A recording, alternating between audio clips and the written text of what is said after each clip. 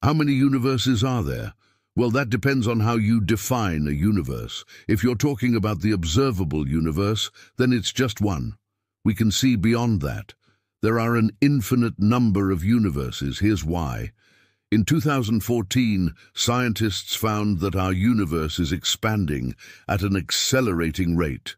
This means that as time goes on, the universe is just going to keep getting bigger and bigger. And at some point, it would be so big that we couldn't even see the edges of it. So if our observable universe is just one bubble in a much larger multiverse, then how many other universes are there? Well, according to some estimates, there could be anywhere from 10 to the 26th power to 10 to the 50th power number of universes out there. That's a lot of universes. But the mind boggles at the thought of all those other universes out there. Are they all like ours? Do they have life? Are we alone in the multiverse? I don't know. What do you think?